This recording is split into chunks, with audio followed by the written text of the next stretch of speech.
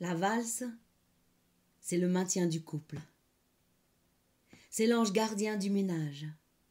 Parce que vous avez des couples, lui, il va à la pêche, elle va à la chasse et ils se perdent de vue. Que d'avoir un lien commun, on est obligé de se voir. Étant obligé de se voir, on est obligé de s'aimer. Étant obligé de s'aimer, ça continue. Ah, je ne dis pas que si je ne valsais plus, on ne s'aimerait plus. C'est trop tôt pour le dire. Je dis simplement que si je ne valse pas avec ma femme, ce n'est pas le bonheur. Parce que vous avez des femmes qui me disent Vous êtes champion. J'aimerais bien valser avec un champion. Oui, mais moi, ce n'est pas le bonheur. Bien sûr, je ne refuse pas. Je leur dis Si vous voulez bien patienter, je suis fatiguée, je viens de valser avec ma femme. Et si plus tard elles remettent ça, je leur donne quand même un peu de plaisir. Mais j'ai vu ma femme comme ça, être invitée et trimballée, secouée comme un vulgaire panier à salade, et, je parle des vieux paniers à salade, bien sûr, dans tous les azimuts. J'en étais gênée. J'ai même vu une période où il y en a qui fumaient sur la piste. Vous passiez en slow fox à côté d'un fumeur et toute la robe prenait feu. Vous savez combien ça coûte une robe Non, vous ne savez pas. Heureusement, vous seriez surpris. Et mon assureur n'a rien voulu savoir. À la fin, le champion du panier à salade, il me dit Vous avez de la chance, vous avez une belle femme. Merci, monsieur. Tout le plaisir est pour moi. Et c'est vrai qu'avec ces belles toilettes, ça fait une belle femme. Une fois, j'ai vu un accordéoniste descendre sur la piste pour la faire monter sur le podium.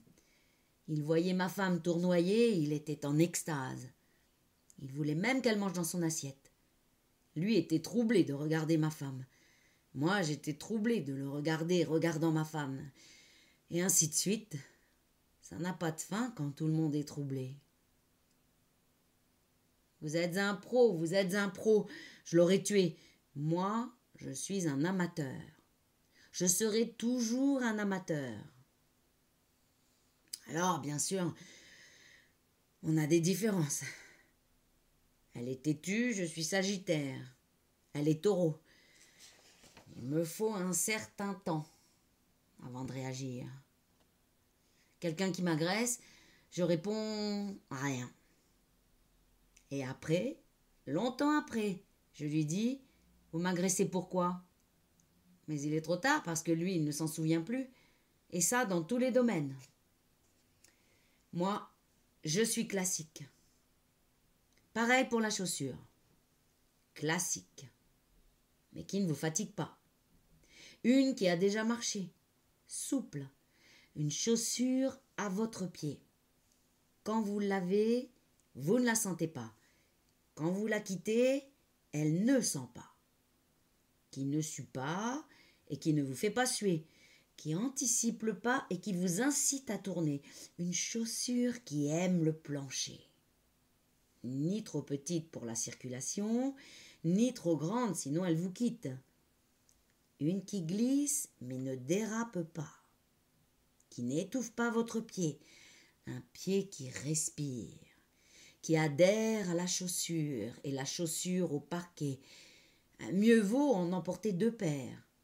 Vous essayez discrètement, une semelle cuir et une patin caoutchouc. Mieux vaut prévoir. Vous ne venez pas la veille pour reconnaître le parcours.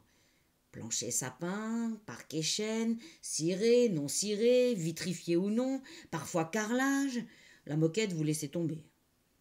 Que ce soit de la vachette, du bœuf, du cheval, du porc, du buffle, du veau, de l'agneau, de la chèvre, du daim ou du nubuck, c'est bien étudié ces patins-là. C'est pas agrippant comme une gomme ou du crêpe. Pour la valse, j'entends. Parce qu'avec des chaussures ordinaires, au bout d'une heure, vous pouvez mettre vos pieds dans vos poches. Et quand on a mal aux pieds, on a mal partout. Classique. Et pas que dans la valse.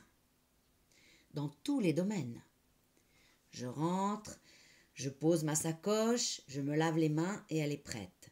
Pareil quand elle était enceinte. Je rentre, je pose ma sacoche, elle est enceinte, je me lave les mains, je lui dis ce n'est pas grave, je me mets à table, elle est prête, je mange, je me couche, on dort, on se lève, je me mets à table, Elle est prête, je mange, je prends ma sacoche et je pars au 3-8. Pendant 17 ans et 6 jours. Au septième jour, je rentre, je pose ma sacoche.